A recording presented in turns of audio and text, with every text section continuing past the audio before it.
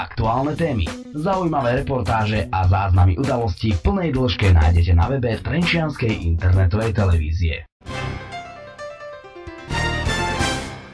Spomienka na 17. november sa mala aj v Trenčine dnes v značne revolučnejšom duchu. Organizátori očakávali viac ako tisícový dálu. Zdá sa, že odvaha Trenčanov však niekde viazne a my sa prechádzame iba poloprázdnym námestím. My sme si povedali, že je možno zmeniť a snažiť sa o ňu. Dnes rozšiarime spoločné námestia veľkými sviečkami vytvoreným slovenským dvojkrížom na znak spolupatričnosti a túžby po zmene.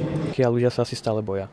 Čoho nevieme, ale je otázka, ako tých ľudí zobudiť. Chcel som vidieť, že koľko ľudí, čo bedákajú, že či tu aj prídu.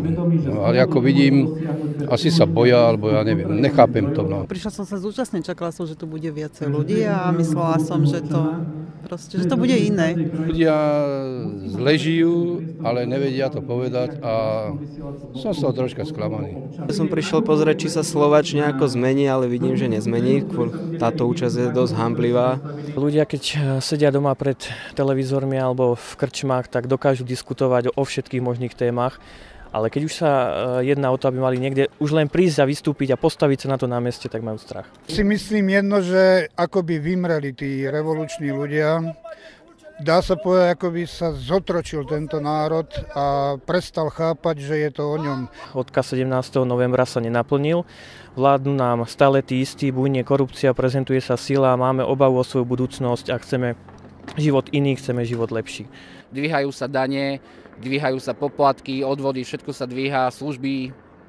Ak zostávajú také isté, tak môžeme byť radi, väčšinou padajú a peniaze sa míňajú tam, kde by sa míňať nemali. Tu síce vyhlasujú, že treba to robiť nenásilnou cestou a tak, ale ja si myslím, že ta, trochu radikalizmu tam treba, lebo vláda dovtedy sa bude na nás smiať a pokiaľ ne, nepocítia strach, tak to vtedy to nič sa nezmení. Znamená, že vy už ste na takom najvyššom stupni skepticizmu.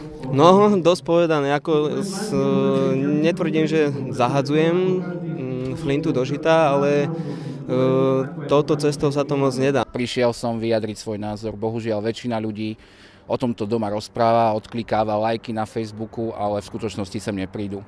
Takže týmto nič nezmenia.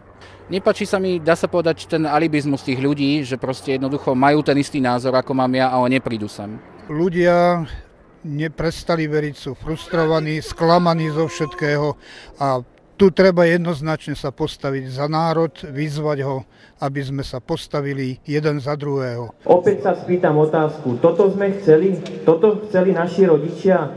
Toto žiadali ľudia na námestiach v 89. Aktuálne témy, zaujímavé reportáže a záznamy udalostí v plnej dĺžke nájdete na webe Trenčianskej internetovej televízie.